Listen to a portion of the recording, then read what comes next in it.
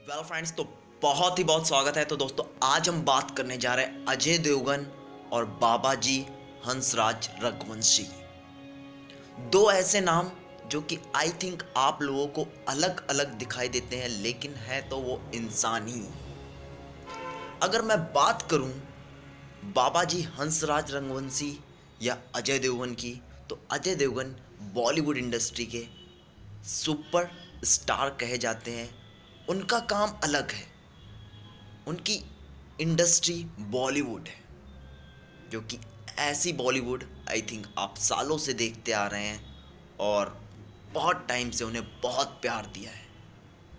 और बहुत लोगों का पूछना या सोचना ये होता है कि लोग व्यूज़ क्यों नहीं देते हैं, या लोगों का ये बात होती है कि जैसे कि आप लोग बाबा जी हंसराज रघुवंशी को जानते होंगे। आप लोगों ने उनका मेरा भोला है भंडारी सॉन्ग सुना होगा, जो कि कुछ इस तरह से गाया था।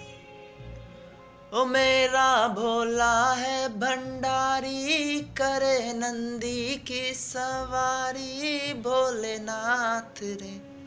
कुछ इस तरह का सॉन्ग गाया था और वाकई में मज़ा आ गया था लोगों को। और इस सॉन्ग से पहले भी कुछ गाने गाए थे उन्होंने, आई थिंक इतने मिलियंस नहीं देखे होंगे लोगों ने। तो कुछ अच्छी चीज़ें होती हैं, कुछ अच्छे गाने होते हैं, जिनको पहचान मिलने में थोड़ा सा टाइम लग जाता है।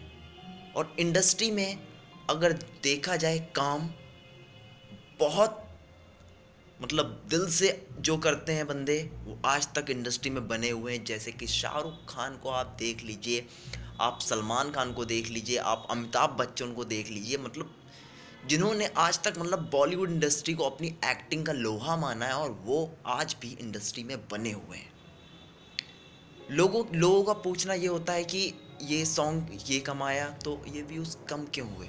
अगर आप लोगों को उसमें काम अच्छा दिखाई दे रहा है सॉन्ग अच्छा है आउटपुट अच्छा है, लेकिन कभी कभी मेहनत भी रंग नहीं लाती।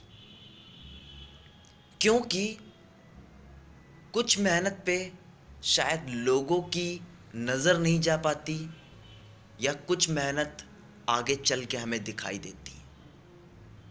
जैसे कि मैं बात करूँ आप लोगों ने बाबा जी हंस रघुवंशी का, ये सॉन्ग भी सुना होगा एक बाबा जी करके सॉन्ग है। और अभी उन्होंने हाल ही में शमशान सॉन्ग गाया। और वाकई में मतलब उनके गाने लोग अलग ही कैटेगरी पसंद कर रहे हैं और आने वाले टाइम में आई थिंक मैं उनको कॉन्ग्रेचुलेशन बोलना चाहूँगा और वाकई में एक दमदार जो उनकी आवाज़ के लोग इतने ज़्यादा फैंस हैं और वाकई में मज़ा आ जाता है। और थैंक्स बोलना चाहूँगा उन्हें कि वो इतने मतलब अच्छे गाने देते हैं और गाने कौन लिखता है मुझे नहीं पता, लेकिन वाकई में जो गाते हैं एक आवाज़ उनकी जो निकल कर आई, मेरा भोला है भंडारी से आई थिंक मिलियंस 200 मिलियन से ज़्यादा लोग देख चुके हैं क्या? और कभी अगर रहा तो देखेंगे मिल भी पाएँगे तो आपसे बात करेंगे। और अजय देवगन की अगर मैं बात करूँ तो अजय देवगन इंडस्ट्री में जैसे कि आप लोग को इतने टाइम से एंटरटेनमेंट करा रहे हैं, वो बॉलीवुड की उनकी अलग कैटेगरी है। और वो उनको मतलब हर हीरो के पास एक अपनी अलग चेतावनी होती है कि उनको अलग अलग डिफरेंट वे में मूवी करनी होती है। कभी किसी को पीरियड ड्रामा मूवी करनी होती है तो फैंस को पसंद होती है तो वो अच्छा होता है तो हमेशा वो नहीं कर सकते, क्योंकि आपको एंटरटेनमेंट भी चाहिए। फिर सिंगम लेके आनी पड़ेगी। फिर उसके बाद नहीं अगर किसी को है तो कभी किसी को धड़कन किसी को पसंद आई तो उसको देखनी है, धड़कन टू भी हमें चाहिए।